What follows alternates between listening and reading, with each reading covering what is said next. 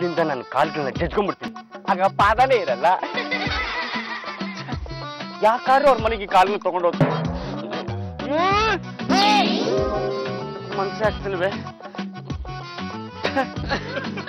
ಏನ್ ಮಾಡೋದು?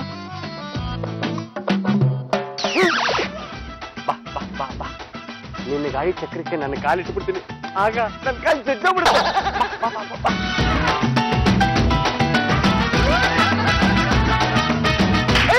ಕ್ಯಾನ ಇದೆಯಾ ನಿನಗೆ ಸರ್ ನಾನು ಸಣ್ಣಗೆ ಇದ್ದೀನಿ ಸರ್. ಮತ್ತೆ ನನ್ನ ಗಾಡಿಗೆ ಕಟ್ಟ ಬಂದೆ? ಸರ್ ನಿಮ್ಮ ಗಾಡಿನ ನನ್ನ ಕಾಲ್ ಮೇಲೆ ಹತ್ಬಿಟ್ಟು ನನ್ನ ಕಾಲ್ನ ಹಂಗಂಗೆ ಬಿಡಿ ಸರ್. ನೀನ್ ತಪ್ಪು ನನ್ನ ಜೈಲಿಗೆ ಕಳಿಸಿ ನನ್ನ ಹೆಂಡತಿ ಮಕ್ಕಳು ಅನಾಥ ಮಾಡ್ಬೇಕು ಅಂತಿದ್ಯಾ? ಇಲ್ಲಿ ನೋಡಿ ಬದಲು ನನ್ನ ಕಾಲ್ ಮೇಲೆ ನಿಮ್ ಗಾಡಿ ಹತ್ಬಿಡಿ ಸರ್. ನಾನು ಜನ್ಮಕ್ಕೆ.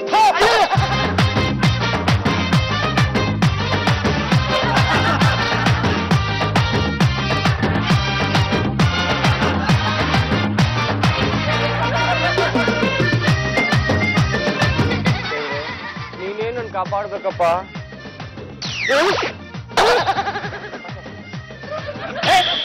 ಪಲ್ಲು ನೀನಮ್ಮ ಚಪಾತಿ ಹಾಕಿದ್ದು.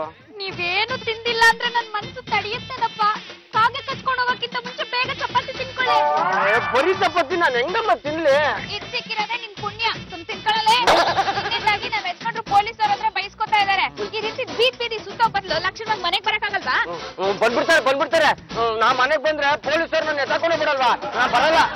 ನಾನಿದ್ದೀನಿ ಬಾರ ಏನ್ ಆಗೋದಿಲ್ಲ ಏ, ನಾ ಬರಲ್ಲ ಬಿಟ್ಬಿಡ ಏ, ಏ, ಏ, ಏ, ಏ, ಈ ಅಯೋಗ್ಯನ ಮನೆ ಕರ್ಕೊಂಡು ಬಂದು ಒಳ್ಳೆ ಕೆಲಸ ಮಾಡಿದ್ರಿ ಕಣ್ರ. ಇವ್ನು ಆಚೆ ಇದ್ರು ಸಾಕು. ಎಲ್ಲ ಎಲ್ಲದು ನನ್ನ ತಲೆಗೆ ಬರುತ್ತೆ. ಏ, ಎಲ್ರು? ಎಲ್ರು ಸರಿಯಾಗಿ ಕೇಳಿಸ್ಬೇಕು ಈ ಮನೆಯಲ್ಲಿ ಹತ್ತಿರ ಮನೆಯನ್ನು ಸೇರಿಸಿ ಹೇಳ್ತಾ ಇದ್ದೀನಿ. ಈ ಮನೆಗೆ ಅದೆಷ್ಟೆಷ್ಟು ಕಿಟಕಿಗಳಿವೆ ಅದೆಷ್ಟೆಷ್ಟು ಬಾಗಿಲುಗಳಿವೆ ಎಲ್ಲವನ್ನು. ಬಂದ್ ಬಂದ್ ಮಾಡಬೇಕು. ಈಗೇನ ಬಂದ್ ಮಾಡಿಸ್ಬಿಡ್ತೀರಾ ಇನ್ಸ್ಪೆಕ್ಟರ್ ಶಿಶುಪಾಲ್ ಬಂದು ಡೋರ್ನ ನಾಕ್ ಲಾಕ್ ಮಾಡಿದಾಗ ಓಪನ್ ಮಾಡ್ಲೇಬೇಕು ತಾನೆ. ಮಾತಾಡ್ಬೇಡ್ರಿ. ಏ ನೀವು ಮಾತಾಡ್ಬೇಡ್ರಿ? ಇದಕ್ಕೆಲ್ಲ ಕಾರಣ ನೀವೇ? ಅಲ್ಲ ಅದು ಬೇಕಿರ್ಲಿ ಬೇಡದೇ ಇರ್ಲಿ ಕಣಪ್ಪತ್ತಪ್ಪ. ನೀನೇನು ನೀನೇನು ಕಮ್ಮಿನೇನು ಇವ್ರಿಬ್ಬರಿಗೂ ಬೇಕಿರ್ಲಿ ಬೇಡದೇ ಇರ್ಲಿ. ಏನು ಎತ್ತ ವಿಚಾರಿಸ್ತಾನೆ ದೋಸೆ ತಿನ್ನೋದಕ್ಕಿಂತ ಇನ್ನೂರು ರೂಪಾಯಿ ಇನ್ನೂರು ರೂಪಾಯಿ ಎತ್ತೆತ್ತು ಕೊಟ್ಟಲ್ಲ ಇವತ್ತು ನೋಡಿ. ಈ ಅಯೋಗ್ಯ ಕೊಲೆ ಕೇಸಲ್ಲಿ ತಗಲಾಕೊಂಡವನೇ. ಅಲ್ಲ ಎಕ್ಸ್ಕ್ಯೂಸ್ ಮೀ ನಾನ್ ಇನ್ನೂರು ರೂಪಾಯಿ ಕೊಡೋದಕ್ಕೂ ಇವನು ಕೊಲೆ ಕೇಸಲ್ಲಿ ತಗಲಾಕೊಂಡಿರೋದಕ್ಕೂ ಕೊಡೋದಕ್ಕೂ ಏನ್ರ ಸಂಬಂಧ? ಸಂಬಂಧ ಇದೆ ಜಾತಿ ಚಂಬಲ್ದಿನಿ ಅವರೇ ಸಂಬಂಧ ಇದೆ. ಈ ನಮ್ಮ ಅಯೋಗ್ಯ ಅರಿಯಂತ. ಇತ್ತೀಚಿನ ದಿನಮಾನಗಳಲ್ಲಿ ಅದು ಎಂತೆಂತವ್ರ ಜೊತೆ ಸಹವಾಸ ಮಾಡ್ತಾ ಇದ್ದಾನೆ ಗೊತ್ತಿದ್ರೆ ಮೊನ್ನೆ ಅದು ಯಾವ್ದೋ ಸುಡ್ಗಾಡು ಇದು ನಡೀತಲ್ಲ. ಅದೇ ಕಂಡ್ರೆ ಫಂಕ್ಷನ್ ಆ ಫಂಕ್ಷನ್ ನೀವು ಯಾರ ಜೊತೆ ಹೋಗಿದ್ದ ಹೇಳಿ? ಆ ದೋಸೆ ಹೋಟ್ಲಲ್ಲಿ ಪೊರಕೆಡ್ಕೊಂಡು ದೋಸೆ ಹಾಕ್ತಾನಲ್ರಿ ಅವನ ಜೊತೆ ಹೋಗೋಣ. ಈ ಪಾದಗಳು ಇರೋವರೆಗೂ ನಿನಗೆ ತೊಂದ್ರೆ ತಪ್ಪಿದ್ದಲ್ವೋ? ಆ ಪಾದಗಳ ಶೇಪ್ ಚೇಂಜ್ ಮಾಡ್ಬಿಟ್ರೆ ಹೇಗೆ? ಟೆನ್ಷನ್ ಮಾಡ್ತೀರಾ? ಕೈನ ಚೆನ್ನಾಗಿ ಕಾಯಿಸಿ ನಿನ್ ಪಾದದ ಮೇಲೆ ಬರೀ ಎಳ್ದ ಅಂದ್ರೆ ಅಲ್ಲಿರೋ ಗೆರೆಗಳೆಲ್ಲ ಹಂಗಂಗೆ ಮಾಯ ಆಗ್ಬಿಡ್ಬೇಕು. ಅವನ್ ಏನ್ ಕೇಳ್ತೀವಿ ಕಾಯ್ಸ್ಕೊಂಬೋಗಿ ಕಾಯ್ಸ್ಕೊಂಬೋಗಿ ನೀನು. ಚೆನ್ನಾಗಿ ಕಾಯ್ಸಿ ಅದ್ರ ಮೇಲೆ ಎಳ್ದ ಅಂದ್ರೆ ಒಂದ್ ಹೆಜ್ಜೆನ ಮುಂದಕ್ಕೆ ಕಕ್ಕಾಗಬಾರ್ದು. ಹಂಗಾಗುತ್ತೆ. ನನಗೂ ಅದೇ ಬೇಕಾಯ್ತು ಇಡಿ ಇಡಿ ಇಡಿ.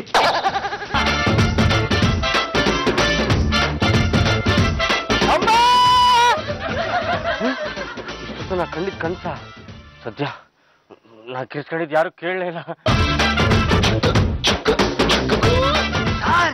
ಅಲ್ಲಿ ನೋಡಿ ನಮ್ಗೆ ಬೇಕಾಗಿರೋ ಆಸಾಮಿ. ಲೇ ಇವ್ ಹಿಡಿದ್ರೆ ನಮ್ ಕೇಸು ಸಾಲ್ವ್ ಆಗುತ್ತೆ ನನ್ ಪ್ರಮೋಷನ್ ಸಿಗುತ್ತೆ ಕಣ.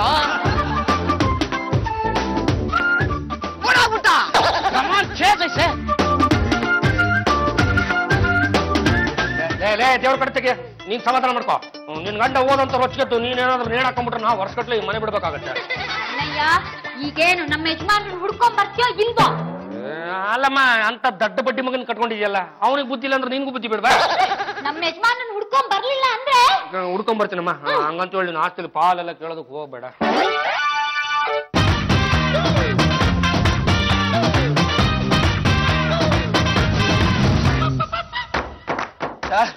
ಸುಸ್ತಾಗೋಯ್ತು ಇನ್ ಓಡೋದ್ರಲ್ಲಿ ಅರ್ಥ ಇಲ್ಲ ಅವ್ ನಮ್ ಕೈ ಸಿಗೋದಿಲ್ಲ. ಬಿಟ್ಟು ಬಿಡಿ ಯಾವ ಗ್ಯಾರಂಟಿ ಮೇಲೆ ಹೇಳ್ತಪ್ಪ ನಿಮ್ ಕೈ ತ ಕೊಡೋಗಿದ್ ಕಳ್ಳ ಇದುವರೆಗೂ ಸಿಕ್ಕಿಲ್ಲ. ಇದು ಆದಾಯ ಕೇಸ್ ಅಂತ ತಿಳ್ಕೊಳ್ಳಿ. ಬದ್ಮಾಶ್ ನಡಿಯೋ ಪಾದಗಳು ಸರಿಯಾಗಿ ಇವೆ ಅಲ್ಲ ರಜಾ?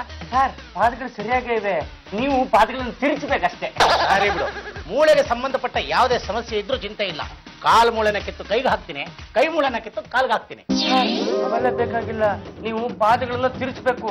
ಕಾಲ್ಗಳು ಸೊಟ್ಟಾದ್ರೆ ನನಗೆ ಯಾವ ಪ್ರಾಬ್ಲಮ್ಮು ಬರಲ್ಲ. ಏನಂಗಂದ್ರೆ ನಿನ್ನ ಕಾಲುಗಳನ್ನ ಸೊಟ್ಟ ಮಾಡಿ ನಾನ್ ಜೈಲಿಗೆ ಹೋಗ್ಬೇಕು ಅಂತೀಯಾ? ಇಲ್ಲ ಸರ್ ನೀವು ನನ್ನ ಪಾದನ ತಿರುಚ್ತಾ ಇದ್ರೆ ನನಗೆ ಗಲ್ ಶಿಕ್ಷೆ ಆಗುತ್ತೆ. ಯಾಕೆ? ಇಷ್ಟ ಆಗಿದೆ ಸರ್. ಓ ಅರ್ಥ ಆಯ್ತು ಬಿಡು. ಪಾದಗಳ ಜೆರಾಕ್ಸು ಮ್ಯಾಚ್ ಆಗ್ಲಿಲ್ಲ ಅಂದ್ರೆ ನಿನ್ಗೇನು ಆಗಲ್ಲ. ಹೌದು ಸರ್. ದಯವಿಟ್ಟು ನನ್ನ ಪಾದನ ತಿರುಚಿ ಪುಣ್ಯ ಕಟ್ಕೊಳ್ಳಿ. ಸದ್ಯಕ್ಕೆ ನನ್ನ ಹೆಂಡತಿ ಉಂಗುರ ಇಟ್ಕೊಳ್ಳಿ. ಒರಿಜಿನಲ್ ತಾನೆ? ಒರಿಜಿನಲ್ಲೇ ಅನುಮಾನ ಇತ್ತು ಅಂದ್ರೆ ಉಜ್ಜಿ ನೋಡಿ ಹೆಚ್ಚು ಕಡಿಮೆ ಇದ್ರೆ ನೀವ್ ಹಾಕೊಂಡು ಟೋಪಿನ ಅಂಗಡಿ ಹಾಕ್ಬಿಡಿ. ಹೈ! ಸರಿ ಸರಿ. ಈಗ ಯಾವ ಕಾಲ್ ತಿರ್ಸಲಿ ರಾಜ? ತಿರ್ಚದೆ ತಿರ್ಸ್ತಿರಂತೆ ಎರಡು ಕಾಲನ್ನ ಒಟ್ಟಿಗೆ ತಿರ್ಸ್ಬಿಡಿ ಆಯ್ತು. ಕಣ್ಣು ಮುಚ್ಕೋ ರಾಜ. ಇಲ್ಲಿ ರಾಜ? ಕಾಲ್ ಲೂಸ್ ಬಿಡು ಆಗಿರು. ನಾನು ತಿರ್ಚೋವಾಗ ತಿರ್ಚಬಾರ್ದು ಡಿಸ್ಟರ್ಬ್ ಆಗುತ್ತೆ